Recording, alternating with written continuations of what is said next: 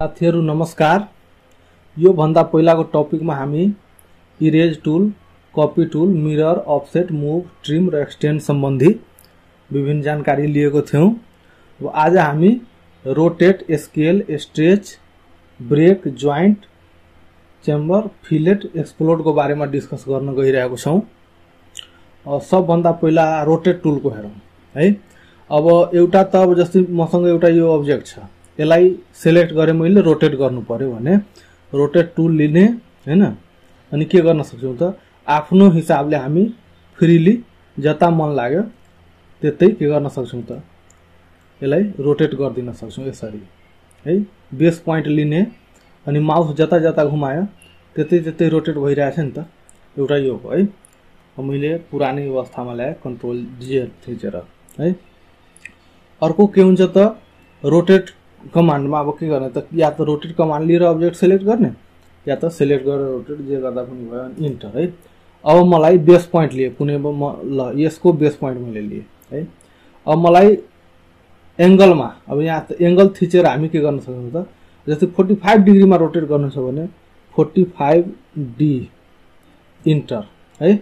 अनि यो के भयो त? यो बेस लाइन भन्दा अब जसरी यसलाई यसलाई यसलाई बेस मानौँ होइन। होरिजोन्टललाई हामी अहिले अर्थो थिचेर होरिजोन्टललाई बेस मानौँ। यो के भयो त? बेस लाइन भन्दा अब यो एङ्गल हामी नापेर हेऱ्यौँ भने के छ त? यो बेस लाइन भन्दा यो कति? फोर्टी फाइभ डिग्रीमा रोटेट भयो नि त होइन? यसरी हामी के गर्न सक्छौँ त? एङ्गल थिचेर कति एङ्गलमा रोटेट गर्न छ त्यो अब यदि तपाईँहरूकोमा एङ्गल आउँदैन भने के गर्नु होला त? पहिला जस्तै त्यो युनिट सेट गर्नुपर्ने छ युनिट्स है युनिट्स टाइप गर्ने इन्टर गर्ने है। र यहाँ जुन हामी इन्जिनियरिङ प्रिसिजन मिलाएको थियौँ नि त्यता एङ्गलको पनि मिलाउनु पर्ने हुन्छ। एङ्गलको के गर्नुपर्छ त? यो डिग्री मिनट सेकेन्डमा लाने र प्रिसिजन मैले जिरो डिग्रीमा राखेको छु नि त। यसरी तपाईँ यो सेट गरेर अनि एङ्गल टाइप गर्ने बनाउन सक्नुहुन्छ। अब अर्को जस्तै सपोज गरौँ मसँग एउटा यस्तो ट्रेङ्गल छ। होइन? यस्तो है। र अर्को के छ त? यस्तो ट्रेङ्गल छ। अब मलाई यो दुईटा ट्रेङ्गललाई रोटेट गरेर के गर्नु छ त यो लाइनसँग यो लाइनसँग यो लाइनलाई मिलाउनु छ भने म के गर्न सक्छु? रोटेट विथ रिफरेन्स है? अब यो अब्जेक्टलाई म सिलेक्ट गर्छु है? अनि रोटेट लिन्छु अनि बेस पोइन्ट भनिरहेछ बेस पोइन्ट लिन्छु।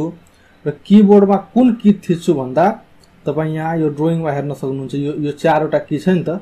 यो चारवटा मध्ये यो तल जुन देखाएको छ नि त यो थिच्छु म। है यहाँ मैले के गरेँ त यहाँ थिचेँ अनि के छ एउटा डिग्री छ एउटा कपी छ र एउटा रिफरेन्स छ नि त।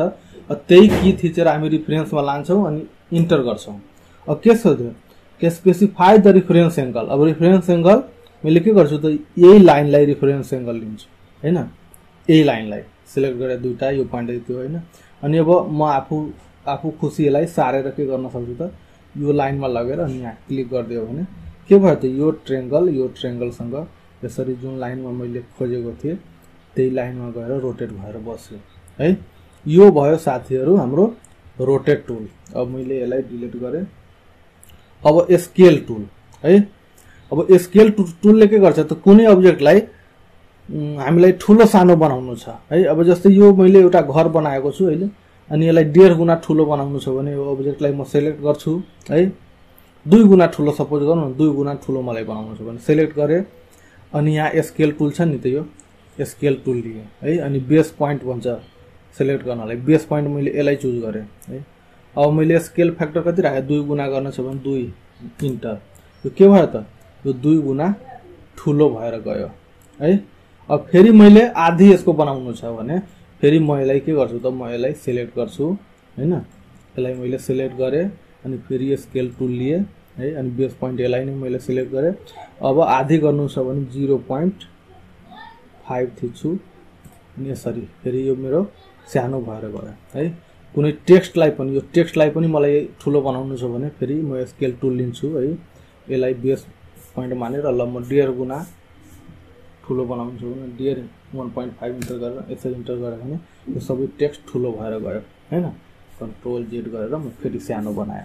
यो भयो स्केल टुल यस्तै छ एउटा स्ट्रेच टुल है यो भयो स्ट्रेच टुल हो स्ट्रेच टुलमा के गर्नुपर्छ त एउटा कुरा याद गर्नुपर्छ अब्जेक्ट सेलेक्ट गर्दा क्रस विन्डो अथवा क्रस पोलिगन युज गरेर मात्रै सेलेक्ट गर्नुपर्छ। अब मैले यहाँ यो क्रस विन्डो सेलेक्ट गरेँ है अनि म इन्टर गर्छु इन्टर है अनि बेस पोइन्ट चुज गर्छु बेस पोइन्ट अब मलाई जति मन लाग्छ नि आफू खुसी।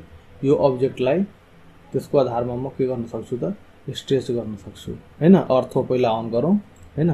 अर्थो अन गरेर के गरौँ त अब? यसलाई यसलाई म तिन फिट भित्रतिर सार्नु छ भने तिन फिट भित्र मैले यसरी सारिदिएँ। यो सानो भयो नि त।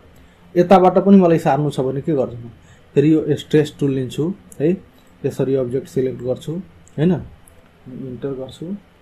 यो बेसबाट यता मैले फेरि तिन फिट सार्नु छ भने तिन फिट इन्टर गर्छु भित्र तिन फिट सरेर आयो अब यता मलाई लम्ब्याउनु छ ति पाँच फिट तल भने यसलाई म सिलेक्ट गर्छु।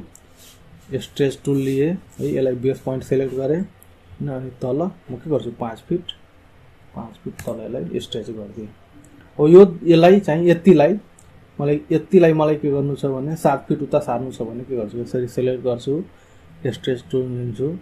बेस पोइन्टबाट यसरी म के गर्छु त सात फिट टाइप गरेर सात फिट माथि यसरी म स्ट्रेच गरिदिन सक्छु। यो के छ त साथीहरू? हाम्रो स्ट्रेच टुल है? अब यहाँ छ ब्रेक यहाँ होइन? अब जस्तै मैले एउटा रेक्टेङ्गल यहाँ ड्र गरेँ है? यहाँ मैले एउटा रेक्टेङ्गल ड्र गरेँ होइन? अनि कुनै पोइन्टमा ब्रेक गर्नु छ यहाँ कुनै यो एक ठाउँमा ब्रेक गर्नु छ भने यो यो टुल लिन्छु म यो अब्जेक्टलाई सेलेक्ट गर्छु है? कुन पोइन्टबाट ब्रेक गर्नु छ यहाँ ब्रेक गर्नु छ भने यहाँ मैले ब्रेक गरेँ होइन? अब यो के भयो त? एउटा सिङ्गल अब्जेक्ट अब यो अलग भयो यो अलग भयो नि त यो पोइन्टबाट ब्रेक भयो नि त। पहिला कस्तो थियो कन्ट्रोल जेड पहिला अब एउटा रेक्टेङ्गल बनाउँदाखेरि कस्तो थियो त्यो रेक्टेङ्गल यो एउटा सिङ्गल थियो नि त। यो एउटा सिङ्गल छ है? कहीँबाट ब्रेक छैन। अब यसलाई ब्रेक गरेँ मैले पोइन्टमा ब्रेक गरेँ भने यो अब्जेक्ट सेलेक्ट गर्छु। सरी फेरि यो टुल लिएर यो अब्जेक्ट सेलेक्ट गर्छु र कुनै एउटा पोइन्टमा गर्छु। यहाँबाट ब्रेक गरिदियो भने त यहाँ एउटा पोइन्ट भयो नि त यो अलग अलग। है? अब कन्ट्रोल जे अब यो अब्जेक्टलाई त्यो बिचबाट ब्रेक गर्नु पऱ्यो भने मैले के यो सेलेक्ट गर्छु यो अब्जेक्टको कुनै ठाउँमा। यहाँ मैले सिलेक्ट गरेँ र अर्को पोइन्ट यहाँ लियो भने यो बिचको पार्ट ब्रेक भएर गयो। है? के गर्न सकिन्छ त? यो अब्जेक्ट लिने यहाँ लिने अनि यहाँ लिने। दुई ठाउँबाट मैले ब्रेक गरिदिएँ। है? फेरि ब्रेक छ भने कुनै एउटा पोइन्ट लिने अनि अर्को पोइन्ट लिने है? यसरी हामी विभिन्न ठाउँमा ब्रेक गर्न सक्छौँ ब्रेक टुलको मद्दतले है? अब यो सिङ्गल अब्जेक्ट छ है? मैले पोइन्टमा ब्रेक गरिदिएँ सिलेक्ट गरेर कुनै पोइन्टमा ब्रेक गरिदिएँ है? यो त यो पोइन्टमा ब्रेक भयो। अब यसलाई फेरि जोइन्ट गर्नु पऱ्यो भने यो जोइन्ट टुल लिएर के गर्न सक्छौँ त हामी? यो अब्जेक्टलाई योसँग जोडिदिने है? अब फेरि यो सिङ्गल अब्जेक्ट बन्यो। होइन? त्यसरी जोइन्ट टुल लिएर हामी जोडिदिन पनि सक्छौँ। अब क्याम्फर टुल हेर्न गइरहेको छौँ। त्यसको लागि के गरौँ? मैले एउटा यसरी यो लाइन यहाँदेखि यहाँसम्म यसरी ड्र गरेँ मैले होइन? अब यसलाई यसलाई के गर्नु छ त मलाई यो ट्रिम गरेर क्याम्फर जस्तो बनाउनु छ भने के गर्छु म? यहाँबाट यो क्याम्फर टुल लिन्छु। है यो है। के भन्छ स्पेसिफाई फर्स्ट लाइन अँ अब पहिला कति फिटको डिस्टेन्समा राख्ने त्यसको लागि के गर्छौँ त? यहाँ किबोर्डबाट जस्तै यो छ नि त यो कि यो कि टाइप गरेर यो कि थिचेर है। मलाई के मैले डिस्टेन्स मैले हालिदिनुपर्छ डिस्टेन्समा इन्टर गर्छु। अब मैले जस्तै अहिले म पाँच फिट हालिदिन्छु। पाँच फिट है अनि इन्टर गर्छु। अर्को पोइन्ट अर्को लाइनतिर पनि कति राख्ने त? अहिले म पाँचै फिट राखिदिएँ ल इन्टर गरेँ। अब फर्स्ट लाइन सेलेक्ट गर्छु अनि सेकेन्ड लाइन सेलेक्ट गऱ्यो भने के छ त? यो दुइटै लाइनबाट पाँच फिट कर्नरबाट पाँच फिट यता यो ट्रिम भएर यसरी क्याम्फर बन्यो होइन? अब कन्ट्रोल जेड अब फिलेट है? फिलेट फिलेटको लागि पनि मैले के गर्छु त फेरि किबोर्डको यही यो की थिचेर होइन? फिलेट कति रेडियसको राख्ने त्यो म सेलेक्ट गर्छु। जस्तै यहाँ रेडियस मैले सेलेक्ट गरेँ रेडियस अब मलाई यसले मानौँ न सात फिट। सात फिट रेडियसको फिलेट गर्नु छ भने अब सात फिट सेलेक्ट गरेँ। यो लाइन र यो लाइनलाई सिलेक्ट गरेँ। यो सात फिट रेडियसको यसरी फिलेट भयो होइन? अब यदि मैले कुनै अब्जेक्टलाई सरी सरी मैले कुनै यहाँ लाइन लिएर विभिन्न यसरी कुनै अब्जेक्ट बनाएको थिएँ र यसलाई म त्यो फिलेट टुलले यो सबै कर्नरलाई म के त्यो राउन्ड बनाउन चाहन्थेँ भने के गर्छु म? यहाँ फिलेट टुल लिन्छु होइन? अनि त्यही कि त्यो डाउन कि थिचेर अनि रेडियसमा गएर इन्टर गर्छु जस्तै म अब तिन फिटको राख्छु। तिन फिटको फिलेट लिएँ है। अब यो लाइन यो लाइन है। यहाँ राउन्ड भयो। त्यस्तै फेरि त्यही इन्टर गऱ्यो भने त्यही कमान्ड रिपिट हुन्छ है। होइन? फेरि इन्टर गर्छु फेरि त्यही कमान्ड रिपिट गर्छु है। फेरि इन्टर गर्छु त्यही कमान्ड रिपिट गर्छु फेरि इन्टर गर्छु त्यही कमान्ड रिपिट गर्छु फेरि इन्टर गर्छु। त्यही कमान्ड रिपिट गर्छु। फेरि इन्टर त्यही कमान्ड रिपिट फेरि इन्टर त्यही कमान्ड रिपिट यसरी म के गर्न सक्छु त यो अब्जेक्टको सबै कर्नरलाई मैले फिलेट टुल युज गरेर राउन्ड बनाउन सकेँ। अब हाम्रो एक्सप्लोर टुल अब एक्सप्लोर टुलमा जस्तै एउटा यो एउटा रेक्टेङ्गल मैले ड्र गरेँ। है? अब यो रेक्टेङ्गल त इन्ट्याक्ट छ अहिले होइन? अब यसलाई सेलेक्ट गरेर यदि मैले एक्सप्लोड गरिदिएँ भने के हुन्छ यो त डिफ्रेन्ट लाइन यो यसको अलग अलग भएर जान्छ है?